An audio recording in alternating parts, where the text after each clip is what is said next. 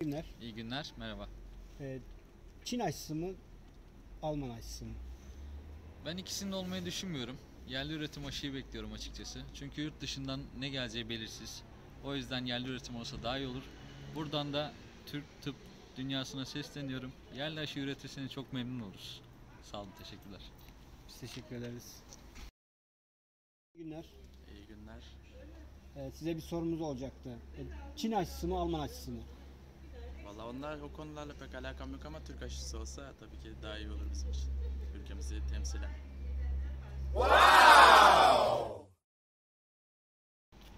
Hanımefendi iyi günler. İyi günler merhaba. Bir sorumuz olacaktı. Tabii, Merhaba. buyurun. Ee, Çin aşısı mı, Alman aşısı mı? Seçme şansımız var mı acaba?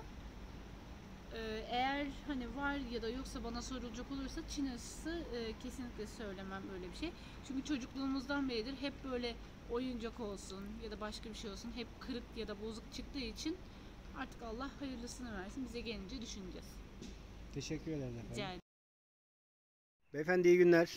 İyi günler, hoş geldiniz. Bir sorumuz olacaktı size. Dinliyorum efendim. Ee, Çin aşısı mı, Alman aşısı mı? Efendim bizi ikisi de bozar. Çünkü biz Türk'üz. Türk'ün kendi aşısı kendi üretiyor. Ama aşı vurmakta, vurulmakta asla tercih etmem. Çünkü aşıyla biz yaşıyorsak hiç yaşamayalım. Bu yüzyılda bir insan temizliğidir dünyada. Baronlar tarafından hazırlanan, bunu samimiyetimle söylüyorum. Ben bunun kitabını okudum. 90'lı yılları. Yüzyılda bir emekli ihtiyar temizliğidir. Amaç ülke, dünya ekonomini düzeltmektir. Başka hiçbir şey değildir. Aşıya asla Türkiye Cumhuriyeti olarak buna gerçekten karşı çıkın. Peki aşı diyorsunuz geldi. Vuruluyor. Her gün diyor milyonlarca aşı vuruldu. Neden hala her gün diyorlar ki 150 kişi, 200 kişi menfaat etmiş. Bunlar neden ölüyor o zaman? Aşı var da değil mi? Buna da bir açıklık getirmek lazım yani. Madem aşı var diyorsunuz o insanları kurtarın. Önce onları kurtarın yaşamaya. Her gün 100 kişi diyorsunuz. Bu bir grip aşısı gibidir. Dünyada oluyor yani. Ama bunu tabii o dünya uluslararası Birleşmiş Milletler insan temizliği. Çünkü her insan 3 bin 4 bin lira maaş alıyor. 100 yılda bu, bu gerçekleşiyor.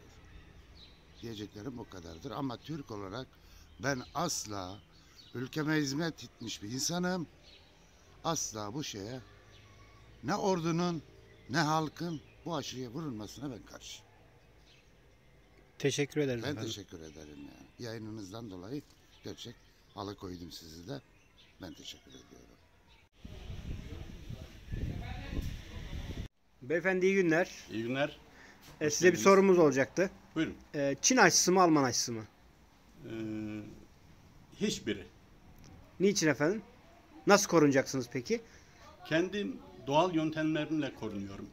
Misal kendim ürettiğim kantron yağım var. Akşamları yatmadan önce hücre yenileyici, bağışıklık sistemini güçlendiren artı keçi boynuz pekmezi, harnut pekmezi derler. Bunu içtiğin zaman ne hasta olursun ne grip olursun. Elma yağı, kekik suyu bu tür şeyler tükettiğiniz zaman kendinizi şifa edersiniz. Zeytinyağı doğal şifadır. Zeytin yaprağı kaynatıp suyunu içerseniz koronavirüsten korunduğunu söylediler. Ben bu tür şeyler kullanıyorum. Bunları tercih ediyorum. Teşekkür ederiz. Ben teşekkür ederim. Valla Çin aşısı mı Alman aşısı mı? Ben Çin aşısını istemem. Ben Çinlilerin ne getireceği belli olmaz. Almanlardan, Nazilerden kıl alıyorum. Onlardan da istemem. Yani yerli olursa çok iyi olur. Reisimizden bir atak bekliyoruz yani. Çin aşısı mı, Alman aşısı mı? Ee, muhtemelen tercihim Alman aşısı olurdu. Çünkü koruma oranı daha yüksek. Ee, ama Çin aşısı da sunulsa ona da hayır demem. Çünkü sonuçta o da %65-70 civarında e, bir koruma sağlıyor koronaya karşı. Ee, evet, o yüzden tercihim dediğim gibi Alman aşısı olurdu ama Çin aşısına da hayır demezdim. Herhangi bir aşı fark etmez. Yeter ki aşı olsun. Hepsine evet diyorum.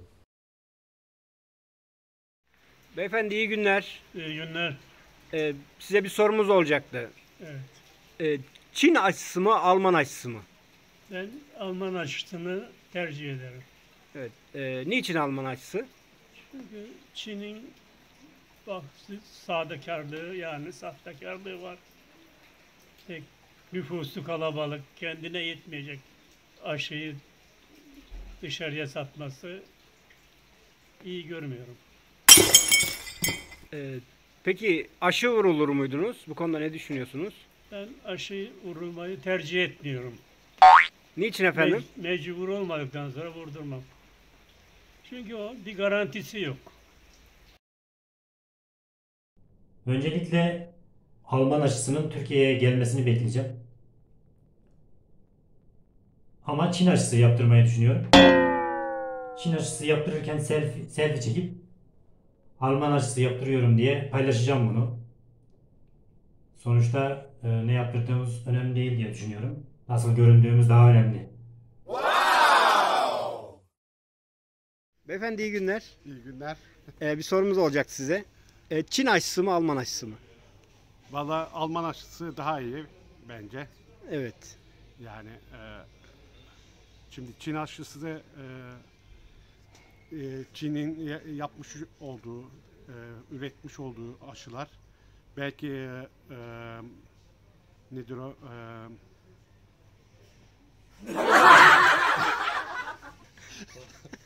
oh. Valla sen benimle şey yapma. Bir şey yap ya. Volkan'a. E, Volkan'a. Volkan Bey merhaba. Siz ne düşünüyorsunuz bu konuda? Çin aşısı mı, Alman aşısı mı? Vallahi tamam ya.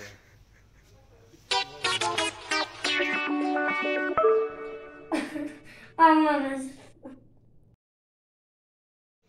Beyefendi iyi günler.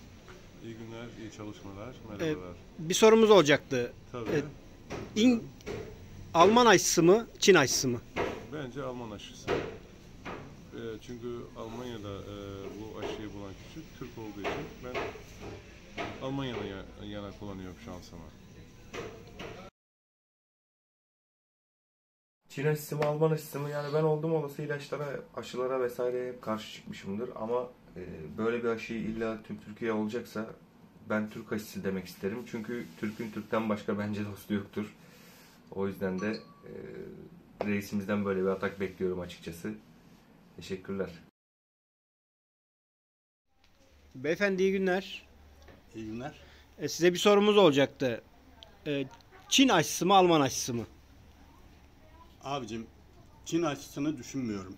Alman aşısı pek fikrim yok. Rus aşısı çıkacakmış. Nasip olsa Rus aşısı yaptıracağım.